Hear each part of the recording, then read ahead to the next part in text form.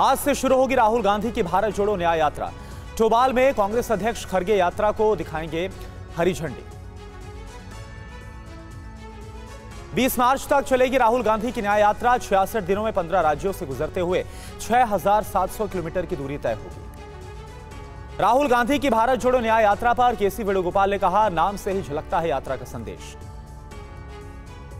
भारत जोड़ो न्याय यात्रा पर। जयराम रमेश ने कहा यह चुनावी नहीं, वैचारिक यात्रा है। देश में आज लोकतंत्र कम और एकतंत्र ज़्यादा है।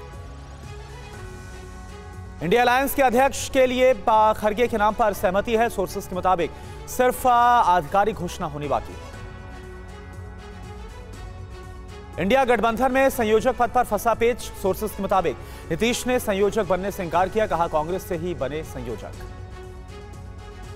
इंडिया की बैठक के बाद सीपीएम नेता डी राजा ने कहा, अध्यक्ष और संयोजक के नाम पर चर्चा हुई। सभी चाहते नीतीश बने संयोजक। बिहार बीजेपी अध्यक्ष सम्राट चौधरी ने कहा, कांग्रेस ने जानबूझकर नीतीश को बेइज्जत किया, गठबंधन नहीं चाहता नीतीश बने पीएम। सीट बंटवारे को लेकर कांग्रेस और आम आदमी पार्टी की बैठक हुई। राहुल गांधी, खड़गे, सीएम केजरीवाल और राघव चड्ढा मौजूद रहे।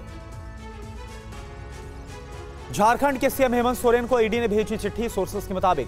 रमन पर पेश नहीं होने को लेकर 20 जनवरी तक मांगा जवाब। प्राण प्रतिष्ठा से पहले देश भर के मंदिरों में आज से स्वच्छता अभियान, बीजेपी अध्यक्ष नड्डा करेंगे शुरुआत। दिल्ली में आज केंद्रीय मंत्री एल मुर्गन के घर पर पोंगल मनाएँगे पीएम। कामराज लेन पर स्थित आवास पर कार्यक्रम आयोजित किया गया। अखिलेश यादव को मिला प्राण प्रतिष्ठा का न्यौता, निमंत्रण के लिए जताया आभार, कहा, प्राण प्रतिष्ठा के बाद सपरिवार दर्शन करने जाऊँगा। दिल्ली समेत पूरे उत्तर भारत में ठंड और कोहरे का कहर, कोहरे से सड़क, रेल यातायात प्रभावित 20 से ज़्यादा ट्रेनें लेट हुई।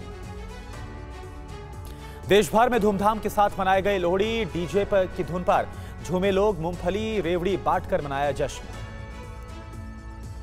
पूरे अमेरिका में ठंड का प्रकोप बढ़ा, मोंटाना के कुछ हिस्सों में तापमान शून्य से 34 डिग्री सेल्सियस नीचे तक चला गया है।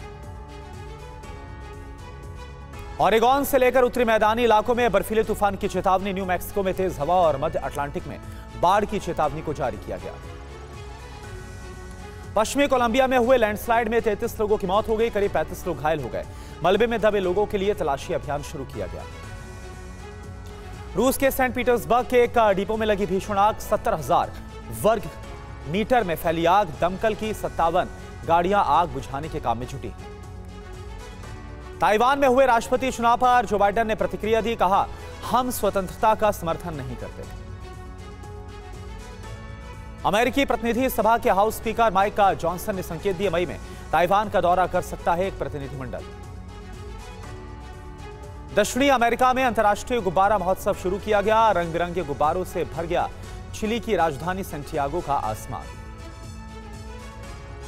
अयोध्या में रामलला की प्राण प्रतिष्ठा को लेकर अमेरिका के न्यू जर्सी में भारतीयों ने रैली निकाली, इसमें साढ़े तीन सौ से अधिक कारें शामिल हुई। अयोध्या में रामलला की प्राण प्रतिष्ठा को लेकर मॉरिशस में तैयारियाँ शुरू, अयोध्या आ सकते हैं मॉरिशस के प्रधानमंत्री।